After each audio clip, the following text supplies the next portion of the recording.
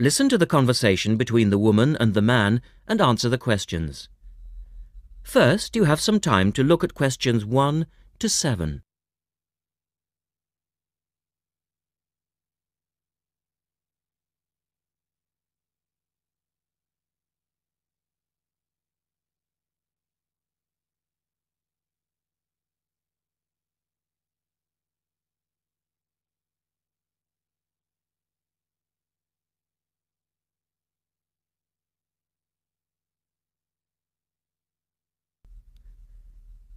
Now we shall begin. You should answer the questions as you listen because you will not hear the recording a second time. Listen carefully and answer questions 1 to 7.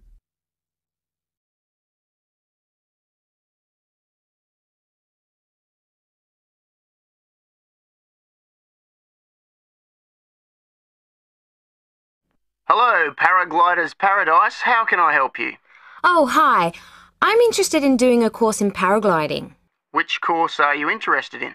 Well, I'm not sure. What's available? Well, we've got the introductory course which lasts for two days. Okay. Or there's the four day beginner's course, which is what most people do first. I'd tend to recommend that one. And there's also the elementary pilot course, which takes five to six days depending on conditions. We might try the beginner's course. What sort of prices are we looking at?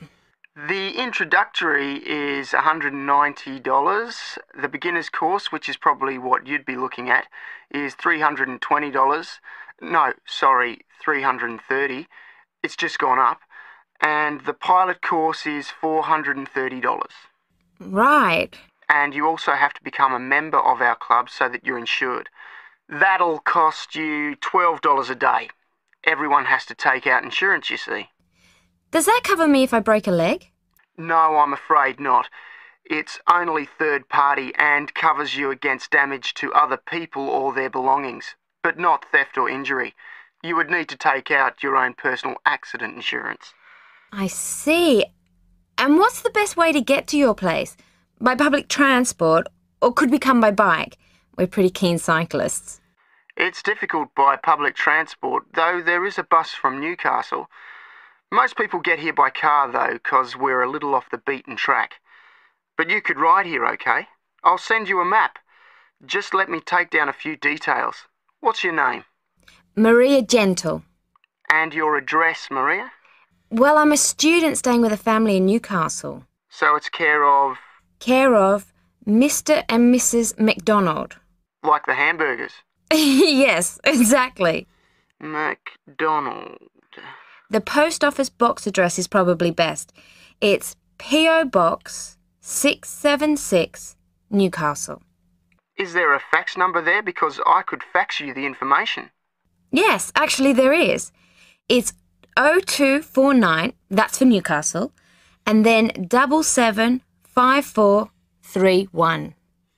Okay, now if you decide to do one of our courses, you'll need to book in advance and to pay when you book. How would you be paying? Uh, by credit card, if that's okay. Do you take Visa? Yes, fine. We take all major cards, including Visa. Okay then. Thanks very much. The girl is telling her friend about the course. Look at questions 8 to 10.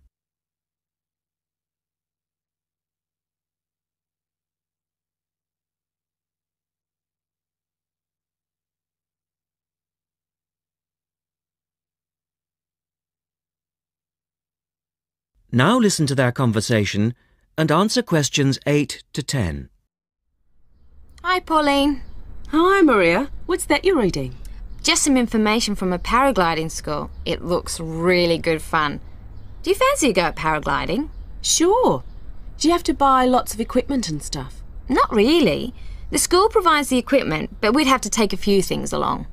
Such as? Well, it says here clothes, uh, wear stout boots, so no sneakers or sandals, I suppose, and clothes suitable for an active day in the hills. Preferably a long sleeve t shirt. That's probably in case you land in the stinging nettles. It also says we should bring a packed lunch. We do not recommend soft drinks or flasks of coffee. Water is really the best thing to drink. Uh, we need to bring suntan lotion and something to protect your head from the sun. Okay, that sounds reasonable. And where would we stay? Well, look, they seem to operate a campsite too, because it says here that it's only $10 a day to pitch a tent. That'd be fine, wouldn't it? And that way we'd save quite a bit because even a cheap hotel would cost money. Uh, or perhaps we could stay in a bed and breakfast nearby. It gives a couple of names here we could ring. I think I might prefer that. Uh, hotels and youth hostels would all be miles away from the farm, and I don't fancy a caravan. No, I agree. But let's take a tent and pray for good weather. Okay, let's do it. what about next weekend? No, I can't. I'm going on a geography field trip.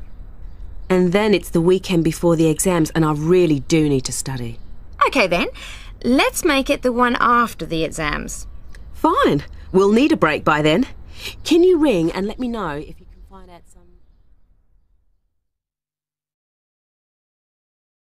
That is the end of part one. You now have half a minute to check your answers.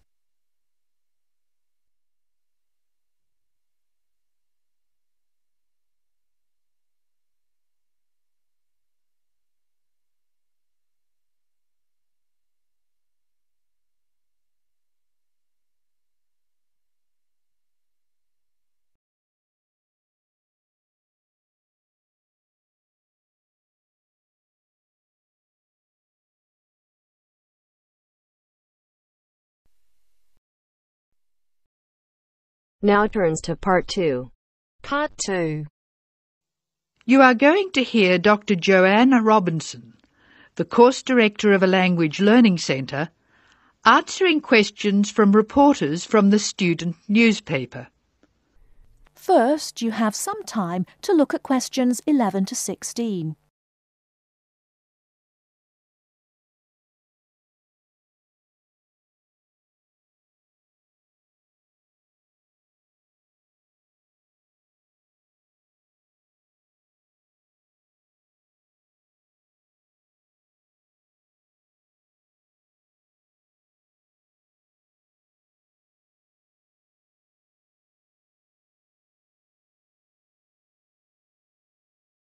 Now, listen carefully and answer questions 11 to 16. Welcome to the Language Learning Center. I'm Joanne Robinson. You must be the reporters from the Examiner. Please come in and sit down. Hello, Dr. Robinson. Yes, we're from the Examiner. I'm Cheryl Perkins and this is Don Klim. May I start with a question? Did this college really start with Brazilian students? It did. The Language Learning Center was founded in 1985 to look after a group of students from Brazil who wanted to study here. Those 20 students soon grew to 60, and as you can imagine, we had severe accommodation problems. Somebody said you were in the old amenities block, right near the engineering school. They have a good memory. Yes, we were there because the university hadn't believed we would expand so quickly. The problem wasn't solved until we moved into these new premises in Bancroft House in 1987. When did you start taking students from other countries? About 1990. We now have students from 13 different countries enrolled, and we expect a large group from Turkey next month. Yes, we've noticed a lot more advertisements for Turkish restaurants in our advertising section. Well, 40% of our students come from Turkey, by far the largest single national group, and I believe there's been an influx to the rest of the university. There are a lot of Turkish students studying hospitality. Do you offer anything special to the students? Yes, we do. There are several things which make us rather different from other language schools. English is certainly not restricted to English for academic purposes here. Sometimes we have extra classes for students who have particular courses in mind. And we have just said goodbye to a group of 30 Indonesian students who were preparing for a university course in agriculture. They came to us for English for farming, and they were with us for a long time. We miss them. How long do students usually stay at the Language Learning Centre? It varies, so I'll talk about the average. Most of our courses last for five weeks. But to make any real progress, a student needs to be here for at least three terms. That's 15 weeks. The students do better if they have a little time to settle in at the beginning of the course, and we offer an orientation course that lasts a week. Most students take it. It helps them to settle down, and it gives us plenty of time to test them and place them at the right level. How many people are in each class?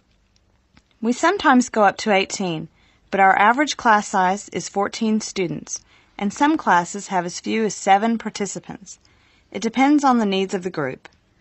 You were saying that you miss your students when they go. How do you attract students? I mean, how do they hear about the Language Learning Centre in the first place? We're included in the university advertising and marketing, and we have our own website. The thing which works best for us, though, is word of mouth. Students who leave us often send us their friends. In fact, a student who arrived today was carrying a photograph for me of a former student and his baby. It sounds like a nice place to be. It is. A lot of our students make lasting friendships while they're here. Before you hear the rest of the talk, you have some time to look at questions 17 to 20.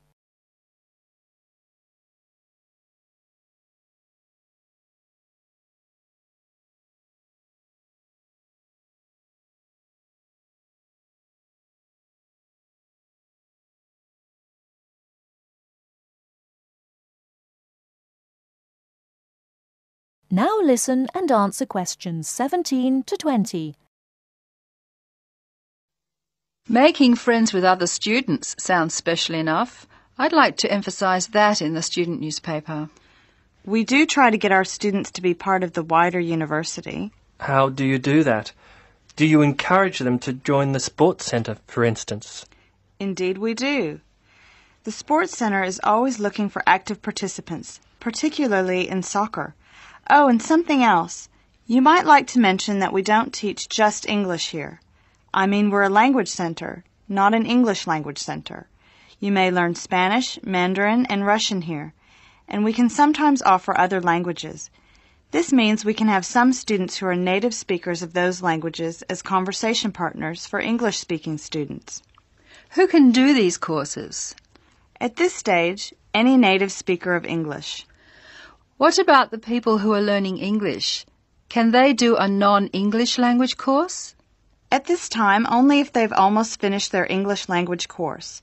You see, we try very hard to involve students who are native speakers of English as conversation leaders, and we encourage our students to join groups on the campus. For instance, if they enjoy music, there is an active jazz group available to everyone, and that's a lot of fun. On the other hand, Elementary students can't go to the drama group. Their English just isn't ready for that sort of activity. But the university choir welcomes all the singers it can find. They often do large productions that need a lot of voices. I imagine the special conversation groups are open to all your students. I wish they were. I'm sorry to say they're a special service we provide for elementary students only. Is there anything else I can tell you? I'd be really pleased if you could write about the courses we offer in foreign languages. I think our readers will be very interested in that. Thank you for your time, Dr. Robinson. Yes, thank you very much. Goodbye. Thank you for giving me the opportunity to talk about the Centre. It's always good to let the rest of the students at the university know what goes on in our classrooms and outside them. After all, many of our students leave us and then study for degrees in various disciplines on this campus. That is the end of part two. You now have half a minute to check your answers.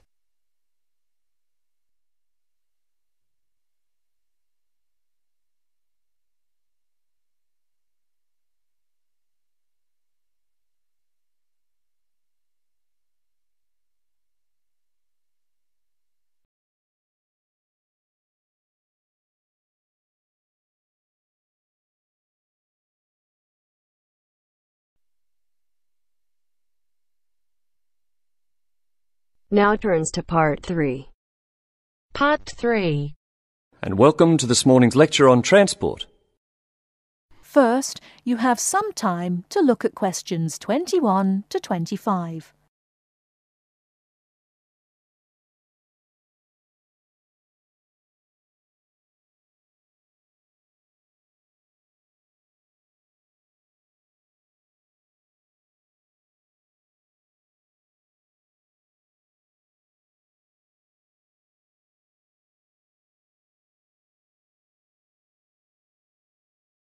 Now listen carefully and answer questions 21 to 25.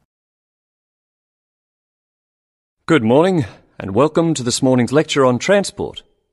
What I'll be doing today is comparing forms of transport in different countries to see how forms of transport are affected by factors such as geographical landscape and economic development. My focus will be on countries in South America, Europe, and Asia. The first country I'd like to look at is Colombia, which is in South America. This is a country where geography plays an important role. Due to the huge amount of mountains and forests in this country, travelling by air is crucial. I don't know if many of you realise this fact, but Colombia was the first country to establish a commercial airline, and in so doing they made aviation history. Today, there are more than 400 airports in Colombia for domestic flights, which highlights the point I made earlier that air travel is a vital means of transport in this country. Colombia also has a road network of about 48,000 kilometres linking Colombia to Venezuela and Ecuador. Transport by road is important for trade as well as tourism. Apart from this, there is also a railway system, but it is in need of modernisation.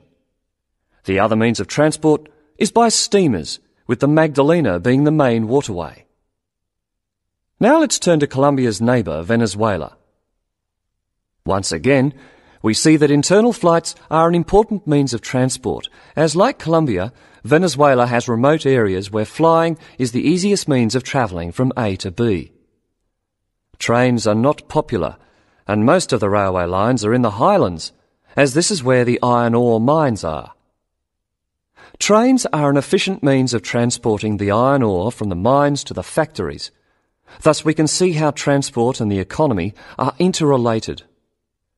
Ships are also used extensively in this country, and there are many ports, the main seaports being Puerto Cabello and Guanta.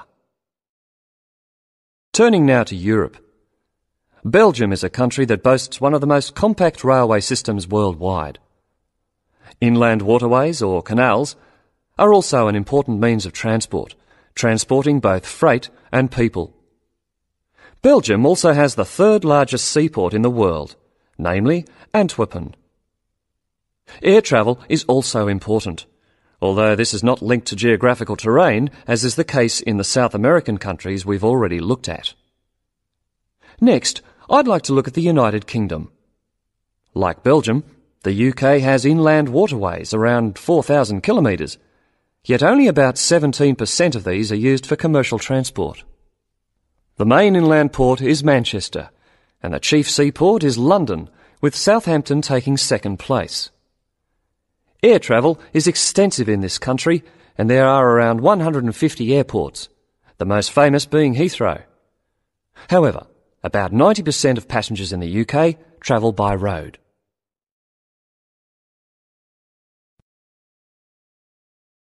Before you hear the rest of the talk, you have some time to look at questions 26 to 30.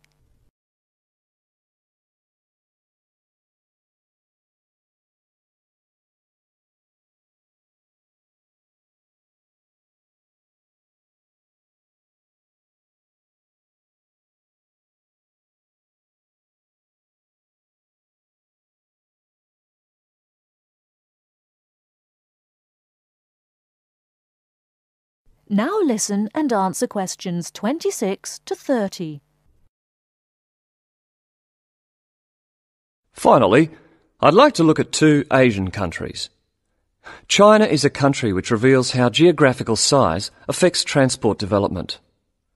Roads and railways are widely used, and this has led to a huge amount of bridges being built, such as the Yangtze Bridge, which is probably the most widely known. The Yangtze Bridge is 1.6 kilometres long and is built on two levels. The upper tier is for cars and pedestrians, while the lower is for trains. Railways are especially important, and over 80% of freight and passengers are transported by rail.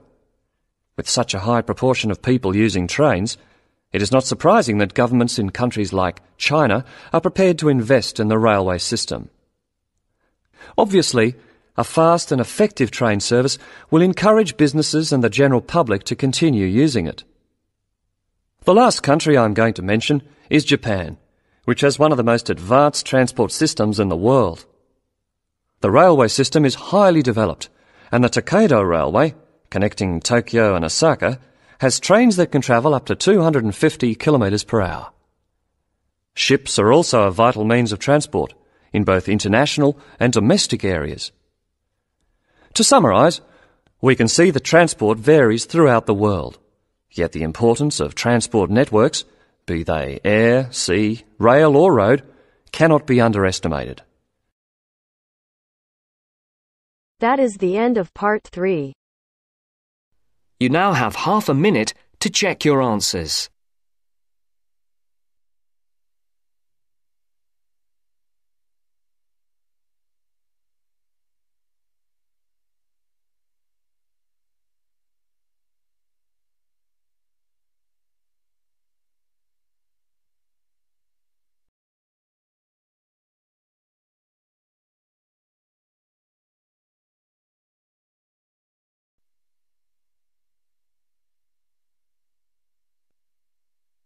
Now turns to part four. Part 4. You will hear someone talking about art. Look at questions 31 to 35.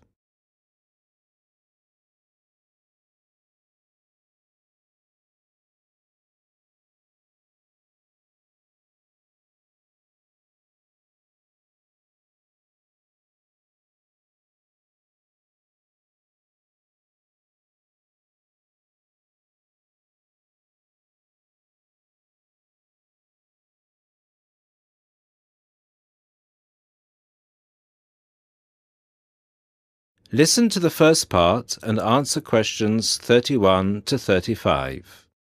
Good evening, everybody, and welcome to the first in this year's series of public lectures offered by the Art Gallery. As Chief Curator of the Gallery, I was given the honour of presenting the first lecture, and let me tell you, I had a difficult time deciding what to talk about tonight.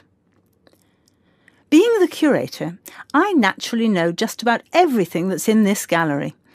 But I wanted to choose an artist who has a wide appeal. That seems only fair, yes? But I didn't want to talk about someone so well known that anything I said would be familiar. I wanted someone modern. My personal preference is for modern art. But again, I wanted to choose someone who had the potential to appeal to all art lovers, whether they're attracted to traditional forms, Impressionism, Surrealism, or what have you. So, having spent the last five years as a visiting professor in Barcelona, it's not surprising that I finally chose to talk about one of the greatest Catalan artists, one whose work is likely to be familiar to many of you. Juan Miró. Look at this. And this. And this. Ring any bells? Miró's most famous and most widely reproduced works tend to be like this bright primary colours with lots of asymmetrical forms. He painted on large canvases, larger than himself quite often, and his paintings depicted birds, trees, flowers, and other features of the natural world. But Miró produced a great variety of work, and it's about some of his lesser known paintings that I would like to speak this evening. Miró was born in Barcelona in 1893, the son of a goldsmith. He began to show talent very early and in 1926 went to Paris, where he was drawn to the Surrealists of Montparnasse. He did not define himself as a Surrealist, however. He preferred to stay free to experiment with other artistic styles as he wished. Miró had an intense dislike of much of the painting and many of the painters he knew. He wished to do something totally different, to express his contempt for bourgeois art and yet, ironically, Miró's success has made his works much in demand among art collectors of the world. But we can't really talk about the artist without looking at his art. And that's what I'd like to do now. to take a look at just a few of Miro's works and think about what it is that makes them special. Special to me, and to a great number of people who flock every day to the Miro Foundation in Barcelona. Now look at questions 36 to 40.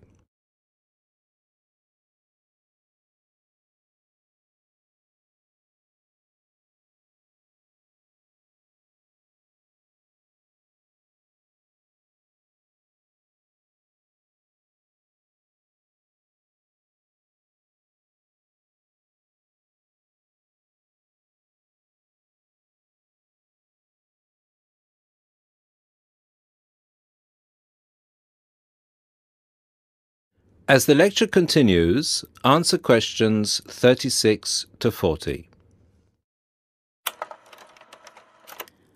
Let's start with this. One of Miro's best known and brightest works, Woman and Bird. A sculpture created in 1982. It is on display in a park in Barcelona, often known as the Juan Miró Park. A huge sculpture towering up into the sky it reflects Miro's eternal interest in these themes, as well as his more technical interest in materials. This sculpture is covered in mosaic, which gives it a naive and cheerful appearance. It is interesting that this sculpture was completed in 1982, just a year before Miro's death. I think it shows that, towards the end, he was feeling as playful as a young man and I think he wanted to share this playfulness in a park on such a big, very public scale. And now, another representation of a woman, this time just called Woman. This was painted in 1976, a late work for Miro, and is a work we often see reproduced or on sale as postcards or posters in gallery shops around the world. So, why is it so popular? I think the use of colour has something to do with it. People respond to these rounded shapes filled with primary colours, especially on a large canvas like this. Also, the fact that, while it is rather surreal, it is still possible to recognise the form of a woman and to see it as a sympathetic representation. It's a bold, bright painting and I think that it awakens a reaction in many of us. And finally, something quite different, though still a woman. A harsh, even violent work that was completed in 1939, at a time when Miro was greatly influenced by events of the Civil War in Spain. It's titled Seated Woman 2, but it can be hard to find the woman here as she's been transformed into a rather horrendous creature. So is that how Miro viewed women? As grotesque? Not at all. This picture can also be seen as strong, with a huge base and solid shoulders to support those who depend on her. In this painting, her arms and neck seem to grow as vegetation out of her shoulders, representing woman as a fertile ground, perhaps.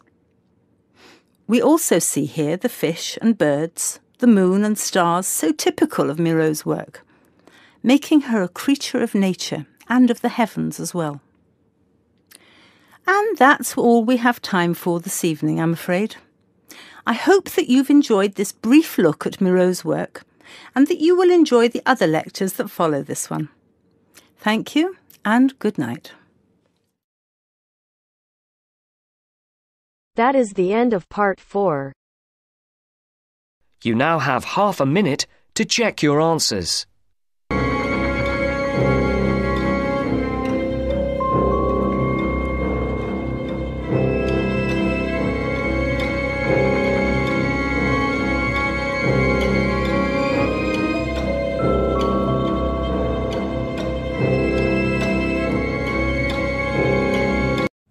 Hello everyone. Welcome to Team Stream MRP and you are watching the